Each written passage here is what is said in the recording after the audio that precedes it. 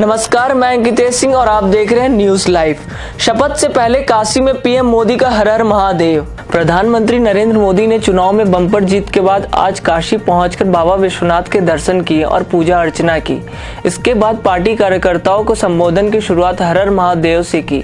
PM Modi ने कहा कि कार्यकर्ताओं का संतोष ही मेरा मूल मंत्र है। मैं पार्टी और कार्यकर्ताओं के आदेश का पालन करता हूँ। मोदी ने बनारस में चुनाव लड़े सभी प्रत्याशियों का धन्यवाद भी किया। येदियुरप्पा ने जेडीएस के साथ सरकार बनाने से किया इनकार, लोकसभा चुनाव के बाद कर्नाटक में जेडीएस कांग्रेस गठबंधन टूटने के कयास लगाए जा रहे थे, लेकिन कर्नाटक भाजपा प्रमुख येदियुरप्पा ने कहा कि जेडीएस के साथ मिलकर सरकार नहीं बनाएँगे।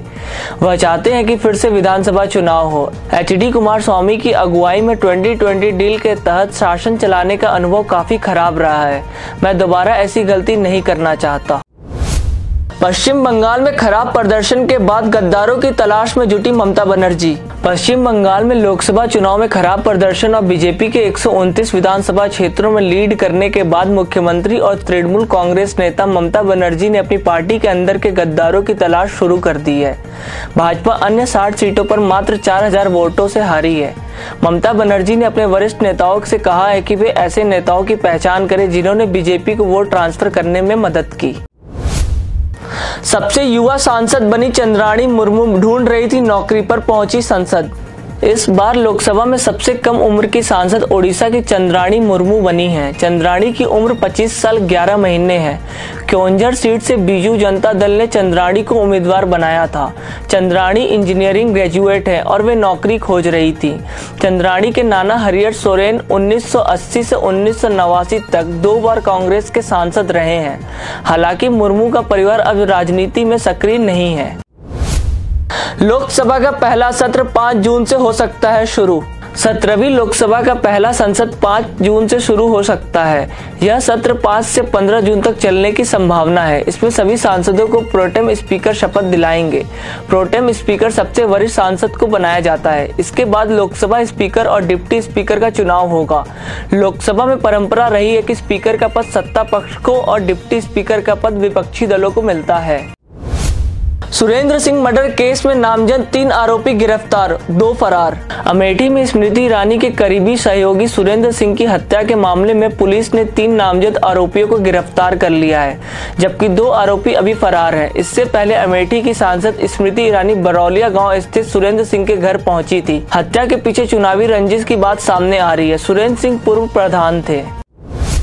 जम्मू श्रीनगर राजमार्ग यातायात के लिए बहाल। जम्मू श्रीनगर राष्ट्रीय राजमार्ग को कई घंटे तक बंद रखने के बाद आज सुबह यातायात के लिए खोल दिया गया। परिवहन विभाग के मुताबिक रामबन ज़िले के बैटरी चश्मा इलाके में रविवार रात को ताज़ा भूस्खलन के बाद यातायात को अस्थायी रूप से बंद कर दिया गया था। राजमार्ग बंद होने से दोनों ओर वाहनों की लंबी कतारें लग गई थी। यातायात बहाल होने से काफ़ी राहत मिली है। तीन रुपए तक बढ़ सकते हैं पेट्रोल और डीजल के दाम। पेट्रोल और डीजल की महँगाई से जल्द कोई राहत मिलने की उम्मीद नहीं है। दिल्ली में पेट्रोल के दाम चौसठ पैसे प्रति लीटर और डीजल के दाम अड़सठ पैसे प्रति लीटर बढ़ गए हैं। पेट्रोल और डीजल के दामों में बढ़ोतरी का सिलसिला जारी है। अंतर्राष्ट्रीय बाज़ार में कच्चे तेल के दामों में तेज़ी के चलते देश की तेल कंपनियाँ पेट्रोल और डीजल के दाम तीन रुपए प्रति लीटर तक बढ़ा सकती है। सलामी बल्लेबाज रोहित शर्मा चार साल में लगाए सबसे ज़्यादा छक्के। वर्ल्ड कप में भारतीय टीम के सलामी बल्लेबाज रोहित शर्मा से काफ़ी उम्मीदें हैं। वनडे में तीन दोहरे शतक लगाने वाले रोहित पिछले चार साल में रन मशीन बनकर उभरे हैं। इस दौरान रोहित ने सबसे ज़्यादा छक्के लगाए हैं, लेकिन वे बल्लेबाजी की शुरुआत काफ़ी धीमी गति से करते हैं। रोहित दूसरे सबसे धीमे बल्लेबाज हैं। उनके पीछे केवल बांग्लादेश के तमीम इकबाल ही हैं। सलमान ने प्रियंका चोपड़ा से मांगी फ़िल्म भारत के प्रमोशन में मदद। सलमान खान इन दिनों अपनी फ़िल्म भारत के प्रमोशन में व्यस्त है। हाल ही में फ़िल्म के प्रमोशन के दौरान सलमान ने प्रियंका चोपड़ा पर निशाना साधा। दरअसल इस फ़िल्म में पहले प्रियंका मुख्य भूमिका निभाने वाली थी, लेकिन निक जोनास से सगाई करने के लिए उन्होंने फ़िल्म छोड़ दी। सलमान ने कहा कि प्रियंका इस फ़िल्म में नहीं है, लेकिन वे फ़िल्म का प्रमोशन तो कर सकती हैं। आज के लिए सिर्फ़ इतना ही। कल फिर हाजिर होंगे नई खबरों के साथ। तब तक देखते रहिए और सब्सक्राइब कीजिए न्यूज़ लाइव।